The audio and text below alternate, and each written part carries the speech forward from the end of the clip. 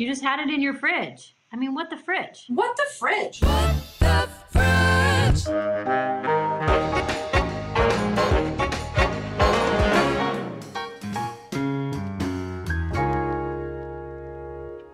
Hi, folks, I'm Seth MacFarlane, and welcome to the Peacock at Home Variety Show, benefiting great organizations like AmeriCares, Feeding America, and United Way, all of whom are working very hard to assist those in need during this pandemic. Well, tonight we have the very funny Amy Poehler, who starred on the television show Parks and Recreation, a show about a place you can't go and a thing you can't do. Um, I actually have a great idea for a show for Amy Poehler. Uh, it's called Polar Opposites. Get it? Polar Opposites. It would star her and John Cena, uh, and they'd be fighting crime. I guess I don't know. Amy, you can uh, you can Venmo me. Anyway, Amy is one of the most relentlessly positive people in comedy. So let's see how this quarantine has broken her. Folks, here is the very funny Amy Poehler. Hi, everyone. I hope you're staying safe and sane during these crazy times. And if you're like me, you've been asking yourself questions that used to feel like they were just everyday queries, and now they're central to your mental health. And they include Should I talk to someone today? Should I put on shoes? And what am I making for dinner? I've been doing a lot of cooking during the quarantine, and chopping vegetables has really helped with my anxiety. And in that spirit, uh, we thought we could um, have someone on who knows a lot about cooking. She won Top Chef Season 10. She runs the restaurant Arlo Grey in Austin, Texas, and she's the great chef Kristen Kish. Hi, Kristen. Hello, how are you? We are going to play a little game to distract ourselves from the madness that is going on in the world. And that game is called What the Fridge. what the Perfect. What the fridge, what the fridge. The way we're going to play What the Fridge, we are going to find someone in America who um, likes to cook at home but needs a little bit of help. We're going to look inside someone's fridge, and Kristen is going to help them make something amazing from the stuff that they have. I love it. Okay, let's do it. Lindsay, Huh? Oh my god! we're so happy to play What the Fridge with you. What the Fridge? Yeah, fridge. What the fridge? We're talking to you from, is it Gilbert, Arizona? It is Gilbert, Arizona. Lindsay, what have you been cooking during quarantine? Nothing super awesome. I'd love to get, you know, back in the kitchen and get crazy again. Well, we are going to, and by we I mean Kristen, help you make an amazing new meal today. But the first thing we need to do, because the game is called What the Fridge, is we need to see what you have in your fridge. Okay, let's go over there. I've got eggs, Beyond Burger plant based patties, unsweetened almond milk, baby spinach, sour cream, some avocados, lemon, zucchini, bananas. Sounds Sounds like a good fridge. In the cabinet, I've got peanut butter and some pasta. Now, Lindsay, you have kids, right? I have three boys, and then my husband has four kids, so three three girls and a boy. So we have seven kids combined. So I think we need to do a great pasta dish so you can make a big batch for your family. Sounds awesome. I did not go to the grocery store. Um, literally making variations off of whatever you have and whatever I have, uh, which is not a whole hell of a lot. So we're gonna make a penne with a sausage carbonara style sauce. So egg yolks and cream cheese and olive oil, some chili flakes. Um, you're gonna use spinach. I have arugula that's basically already sort of going bad. It's all gonna be in one pan. So you have your pasta cooking water and then you have one pan to actually mix everything else together. How much knife work should we do? I don't look pretty doing it, you know, like, but I, but I can cut. What a confident answer. But you're, I want you to take an onion to get this cooking. I don't know if I have an onion. If you don't have one, doesn't do you have garlic? I think I do. Oh, check in your vampire closet. You got garlic in there. Oh, here's garlic. Oh, all right. Perfect, perfect. It's already minced. Yeah, I mean, listen, shortcuts everywhere. Okay. So in your saute pan, you're gonna put uh, a drizzle of olive oil. Is it avocado oil okay? It works just the same. What kind of heat should I have it on? You're not gonna turn it on heat quite yet. Oh, really? Once you have the oil in, you're gonna add a little spoonful of your garlic.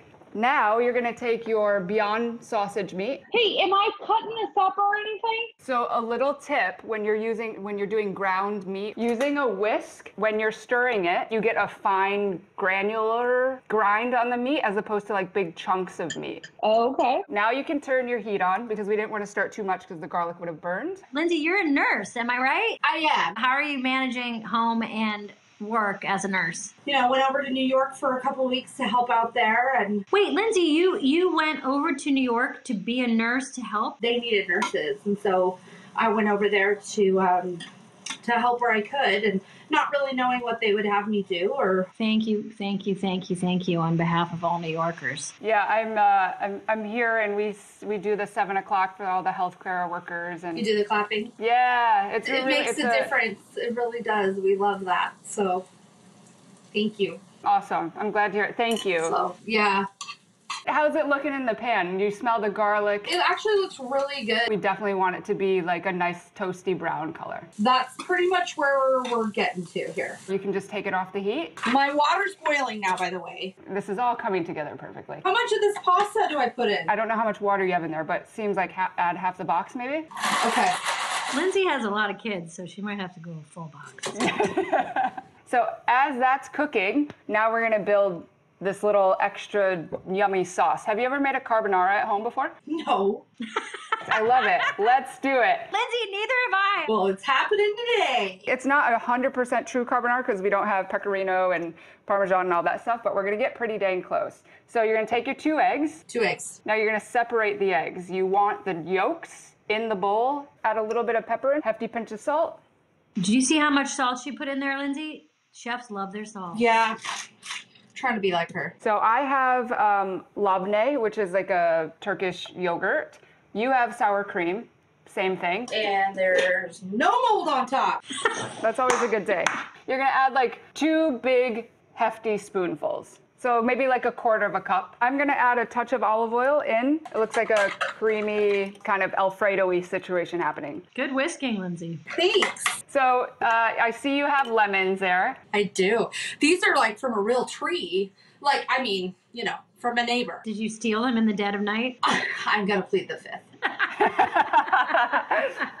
Okay, so do you have a microplane or shall we just use the juice? What is a microplane? It's a tiny airplane that we would take small trips on. No, I do not have that fancy thing that you just showed me. Let's use the juice. A teaspoon. Oh man, this smells so good. So your pasta is probably about halfway done. So now is a really good time to take the spinach and you're gonna put it in your saute pan and throw it back on the heat. You can do like a nice a nice handful because it'll wilt down quite a lot. We're gonna need a ladle for this next step. So you're gonna take a little bit of that pasta water and add it into your saute pan. And if you like spice, Lindsay, feel free to add any kind of cayenne or chili flakes, or if not, just leave it out.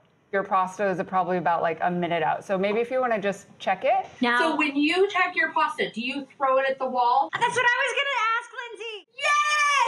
I mean, you certainly can. Um, depending on what kind of wall you have, you're gonna have a different stickage every single time. It doesn't feel quite done yet. It feels a little firm. Kristen's gonna love that. they love al dente. You know so much about chefs. I love it. I'm obsessed with cooking shows. I just this is like my dream. This is my NBA to watch this happen right now. So we want to take that pasta up until like, like Amy was saying, sl- uh, al dente, because when it goes into that pan, it's gonna keep cooking. Do you want me to drain it or wait a second?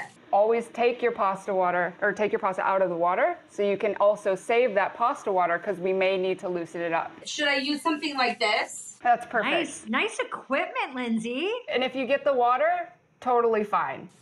So, Okay. uh, pan, pan, pan. Oh, That's okay. No, no, leave that in there. I put no, it in it's the totally sauce. fine. I'll do it too. Don't worry. my husband's gonna expect this kind of stuff. You don't even ever have to tell your kids or your husband that you did this. Just cook this for yourself. Yeah. So now you're gonna kind of let that that liquid reduce down just a little bit, and it's gonna kind of turn into a little bit of a glaze. So turn off the heat, and then we're gonna take your pan and you're gonna put it in the bowl with the noodle, and you're gonna constantly stir as you add it. So it's you're gonna like cook the eggs a little bit. exactly. Mm. I know we're in quarantine, but is it cool if I come over? Dude, you can come over anytime. Okay, so let's go for a taste. If you need to add more salt, which typically we do. Back up the salt truck. Let's see, Lindsay. What do you think? Holy crap. I'm not even lying. This is so good. A little um, woo, creamy pasta. You just had it in your fridge. I mean, what the fridge? What the fridge? Thank you so much, Kristen. Thank you so much, Lindsay. That was amazing. Um, and the best part is that we are doing this variety show to raise money for City Harvest. Peacock is donating to help families in need who are having um, struggles with finding food during this time. And also, thank you to all our healthcare workers, Lindsay, and everyone who are putting themselves on the line during this time. This made my day, made my year, really. This is this is cool. And we hope that we brought some joy and some ideas for you in the first of what we know will be at least a thousand episodes of What the Fridge. What the fridge?